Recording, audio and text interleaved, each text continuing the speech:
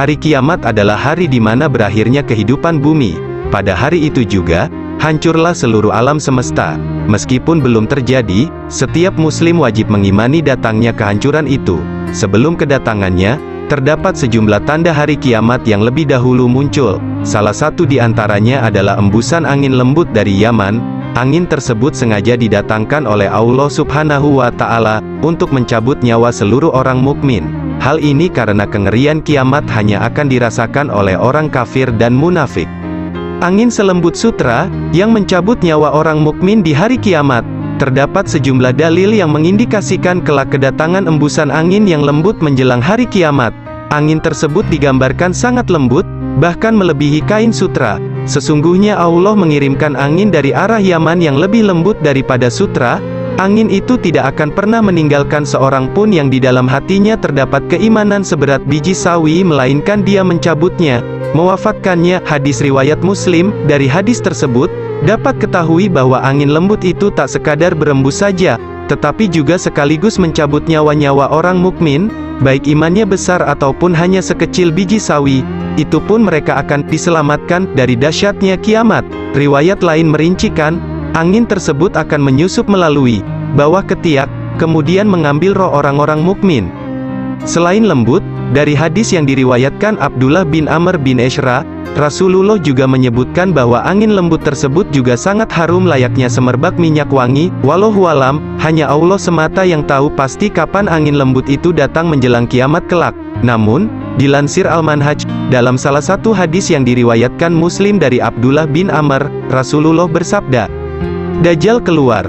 Lalu beliau menuturkan hadisnya, di dalamnya diungkapkan wajah tersenyum, kemudian Allah mengutus Isa bin Maryam seakan-akan ia adalah Urwah bin Mas'ud, lalu beliau mencarinya, Dajjal, kemudian membinasakannya. Selanjutnya manusia berdiam selama tujuh tahun di mana tidak ada permusuhan di antara dua orang.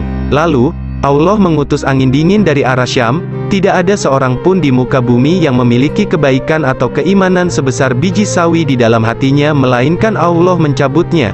Walaupun seseorang di antara kalian masuk ke tengah-tengah gunung niscaya angin tersebut akan memasukinya sehingga ia mencabutnya, mewafatkannya. Menurut keterangan hadis tadi, Angin selembut sutra itu diperkirakan berembus setelah terbunuhnya Dajjal oleh Nabi Isa alaihi salam, serta selepas seluruh penduduk bumi menjadi muslim dan hidup damai selama tujuh tahun.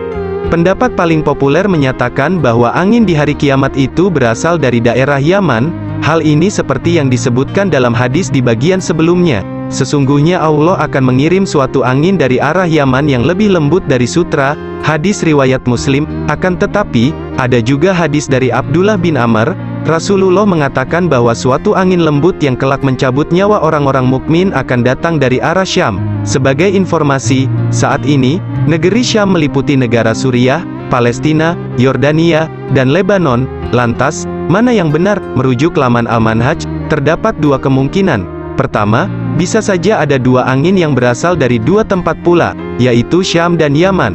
Kedua, boleh jadi suatu angin bermula dari satu tempat kemudian berembus ke tempat yang lain.